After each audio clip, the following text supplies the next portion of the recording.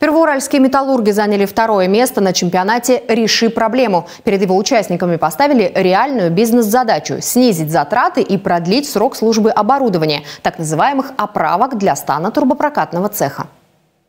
В чемпионате приняли участие семь команд. В их составе представители предприятий трубной металлургической компании. Соревнования проходили на площадке трубного завода в городе Волжский. Участники проанализировали задачу, побывали на производственных участках и предложили около полусотни решений. Идеи команд оценивала экспертная коллегия. При подведении итогов учитывали выявление рисков, наличие финансового обоснования и конкретного плана действий, а также оригинальность решения и возможность масштабирования на другие заводы компании. В команду Первоуральского Московского новотрубного завода вошли сотрудники отдела развития производственной системы Никита Куличков, Даниил Дунгат и Владимир Корицкий.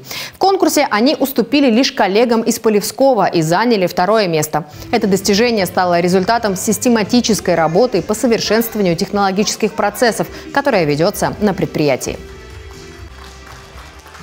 Сам участвую впервые, но степень ответственности высокая. Хочется, во-первых, не подвести свое предприятие, но и принести пользу всему нашему дружному сообществу. Считаю очень полезным то, что мы сейчас занимаемся именно этим. Во-первых, дух соперничества подстегивает к выработке мероприятий, так скажем, не совсем традиционных подходов. И к тому же возможность пообщаться с коллегами,